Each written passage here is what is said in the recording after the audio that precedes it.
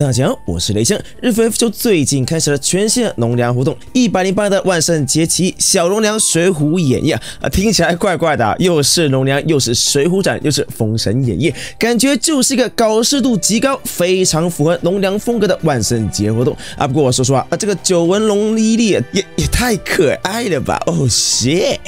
而这部影片呢，正式跟大家介绍这可爱的小学生，不是是奇迹的第七位伊丽莎白伊丽奖吧。那么在影片开始之前呢，我们先来介绍一下之前还在封测，但现在已经准备要正式推出的酷酷手游吧。没错，等了十五年外加五个月的漫长等待之后呢，我们的大哥啊，终于要推出首款 RPG 手机游戏了。没错，就是我们的《天元突破：红颜罗颜》。大家现在已经可以在影片底下资讯那边点击链接啊，注册事前预约，便能够获得超稀有的五星颜面。同时，最终官方脸书粉丝团更有机会参与抽取 iPhone 十四以及周。周年限定罗线岩模型和签名版等诸多奖励，而正式档案预计在十月二十六号正式上线，所以呢，赶紧的招募你们的战友机师啊，准备驾驶各种酷酷的机体，带着红莲团冲出宇宙，用你的钻头突破天际吧。那么介绍完酷酷的新手游之后呢，我们就正式进入今天的主题吧。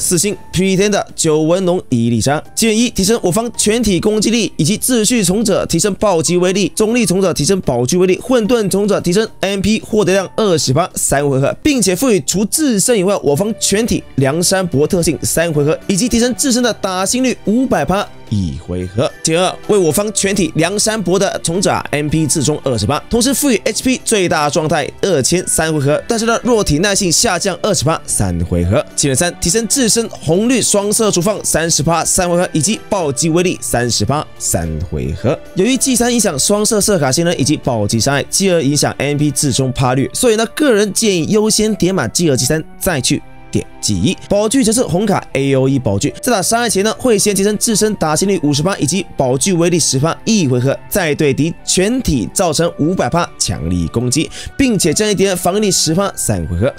简单来说呢，九纹龙伊丽莎就是官方赠送的第一个 Pretender 角色，所以呢，先不论强度，至少先让大家有一张直接底牌啊，就是好事啊。但是说实在的，就像原本龙娘活动的特性一样，这个从者的技能和宝具。设计啊，就真的非常搞事。记忆会根据从者的特性属性啊而提供不同效果，并且赋予友方梁山伯特性。秩序会给爆伤，中立会给保卫。混沌呢，则是给 MP 获得量，而继而则是帮梁山伯的友方充能二十八，宝具就是红卡 LE 高提数啊，却有提升五十八打心率的有趣效果，加上是官方赠送角色啊，所以呢，免费保我的 p r e d e 直接就真的是啊非常便利啊啊！虽然除开宝具伤害以外，它自身的伤害确实没有到很高，而且身为混沌特性的它啊，记忆给它效果就是比较激烈的二十八 MP 获得量啊，但一说。到混沌二属性的话，就会让人想到那个道满，所以呢，辅助的选择可以选个道满来个高额增伤，大幅度提升伊丽莎的暴击威力。而同样是 Pretender 的爆宝呢，同样也能够当个共同输出手，甚至适合九纹龙伊利奖组个多核队伍，应对现在各种奇奇怪怪的机型走回关。而李忠的话呢，则是根据场合选择提升宝具威力或者红卡厨放的伤害李装吧。总的来说，九纹龙伊丽莎就是一个官方赠送的普通五星伪装者角色啊，虽然没有到很强很好用，也没有到非常没用或者被标签为花瓶粪角。以强度来说呢，就是一个刚刚好，让没有匹天的直接人有多个选择，能够凑合着用免费保五死星角。而且要知道，龙粮系列的从者啊，从来就没有想过要从强度方面去想，而是如何把它变得更搞事。更加有趣啊！例如说，西瓜里的 MP 来抽奖的勇者龙粮，又或者是强化童话从者又提供猛兽特工的灰姑娘伊利奖，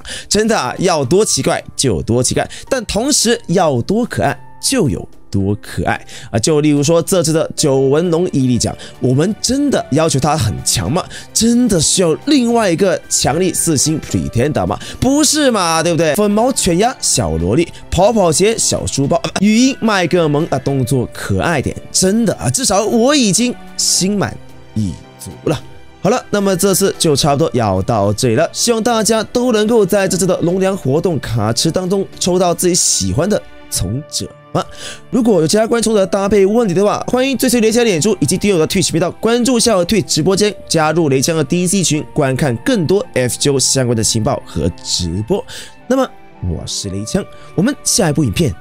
再见吧。